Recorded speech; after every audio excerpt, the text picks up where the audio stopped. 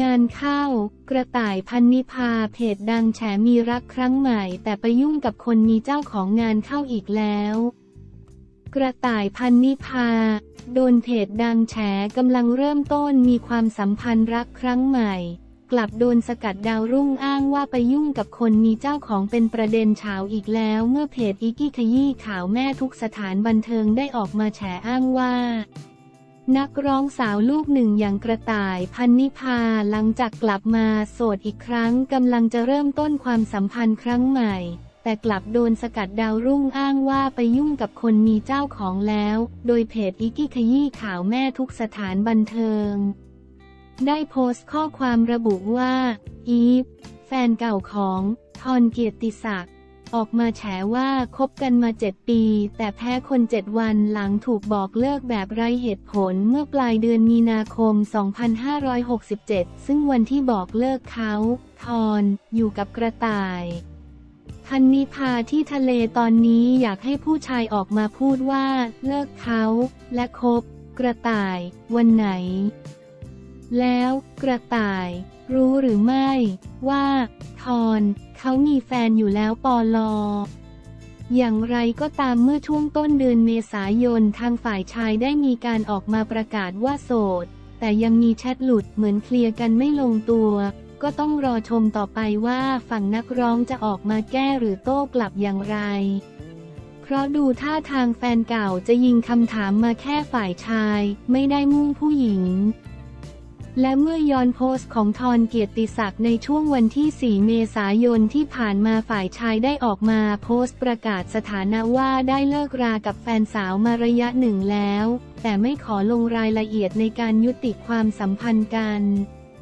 โดยระบุข้อความดังนี้ ผมใช้พื้นที่ของผมออกมาชี้แจงเรื่องที่มีช่อง TikTok ช่องหนึ่งนำรูปภาพของผมไปลงและปั่นให้พี่พี่ FC ทุกคนกังวลใจนะครับ ผมขอยอมรับเลยว่าผมเคยมีอดีตนะครับ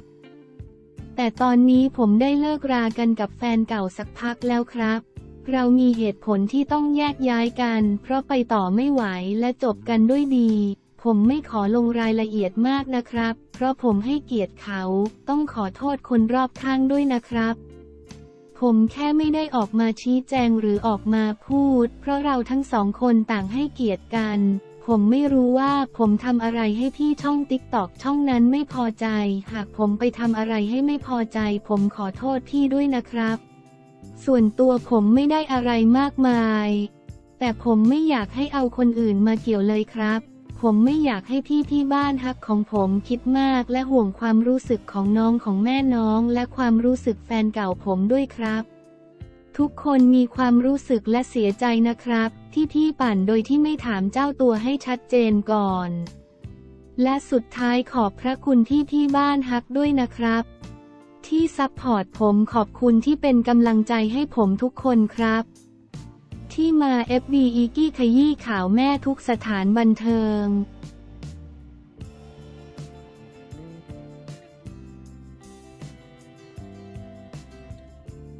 ประเสริฐมั่นใจประสบการณ์ทักษิณ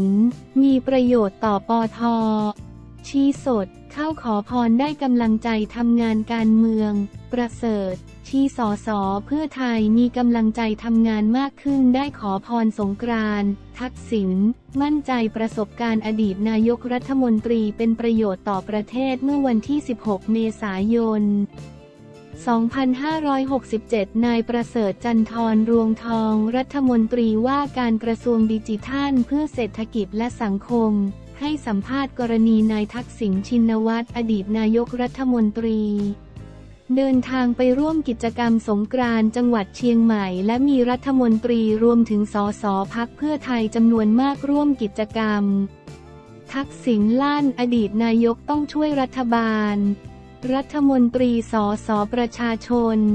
แห่รถน้ำสงกรานเทียบนายประเสริฐกล่าวว่าการร่วมกิจกรรมเทศกาลสงกรานกับนายทักษิณ ทำให้สมาชิกพักเพื่อไทยได้รับกำลังใจในการทำงาน เพราะนายทักษิณเป็นผู้ใหญ่ที่คนพักเพื่อไทยเคารพรัก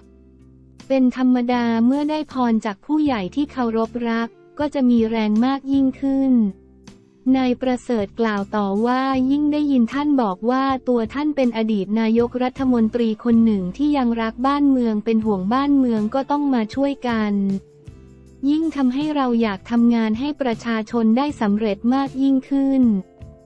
ตนก็หวังว่าจากประสบการณ์ของนายทักษิณที่เป็นนักสังเกตและอยู่ต่างประเทศมานาน ได้เห็นการเปลี่ยนแปลงต่าง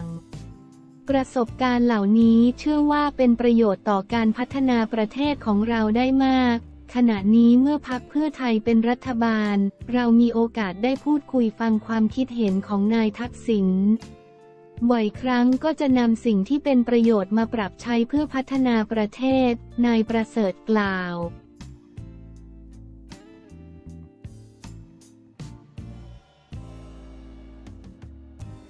พิธีกรดังหนูแหม่มสุริวิภา เปิดอกเล่าปมในใจถูกตราหน้า เป็นแม่ที่ดีไม่ได้ เผยวิธีรับมือเปลี่ยนคำดูถูกเป็นพลังบวกทุ่มเทความรักให้น้องแอลลี่อยากเฝ้าดูการเติบโตถ้าเอ่ยชื่อหนูแหม่มสุริวิภาเชื่อว่าหลายคนย่อมรู้จักกันเป็นอย่างดี ในฐานะพิธีกรหญิงอารมณ์ดีเบอร์ต้นๆของวงการบันเทิงไทยที่มาพร้อมกับเสียงหัวเราะที่เป็นเอกลักษณ์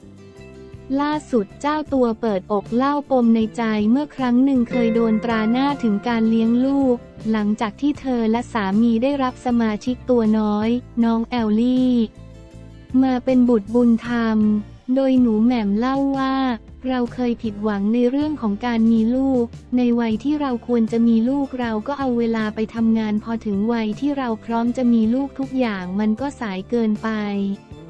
เป็นเรื่องที่หนูแหม่มรู้สึกเสียใจกับเวลาที่มันล่วงเลยไปมากๆ ในขณะที่ปัจจุบันนี้น้องแอลลี่อายุสามขวบกำลังน่ารักน่าชังสุดๆ ตั้งแต่ที่น้องได้เข้ามาเป็นส่วนหนึ่งของครอบครัว